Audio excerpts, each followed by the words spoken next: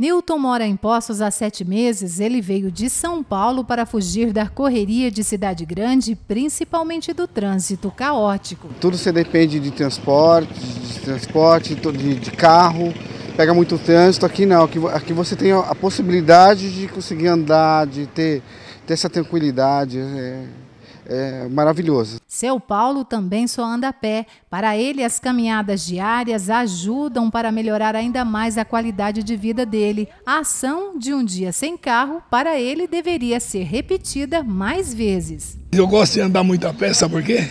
Faz bem, diminui o, o colesterol, a diabetes. Em Poços, muita gente já se acostumou a andar a pé. Ando bastante. Uhum. Serviço, volta a pé. Para realizar o dia sem carro, algumas ruas da área central da cidade serão fechadas para marcar a ação. A iniciativa vai acontecer durante todo o dia e as ruas São Paulo, Rio de Janeiro e em torno da Praça Pedro Sanches ficarão interditadas com cavaletes e contará com a participação dos agentes de trânsito para orientar e autorizar aqueles motoristas que precisarem fazer embarque e desembarque, carga e descarga e acompanhar algum serviço essencial. Grande grande objetivo é esse, é tirar os carros de circulação para que todos se sintam muito melhores, inclusive o planeta, né?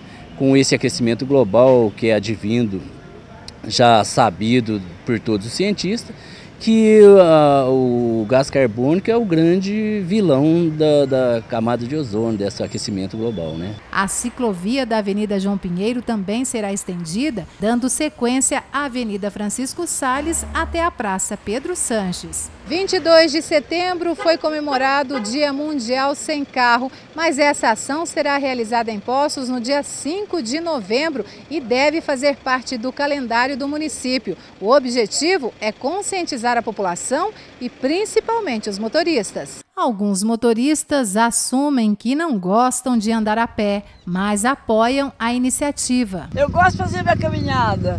Mas é, andar a pé é muito ruim, né, filha? Para a maioria dos motoristas, a ação é válida e o meio ambiente agradece. Tem que dar um jeito de parar um pouco os carros e andar mais a pé, né? Gosto de andar a pé, é importante né? Para o meio ambiente, né? Despolui um pouco, o povo ter conscientização do. Se tiver que andar a pé, senhor anda? Tranquilamente.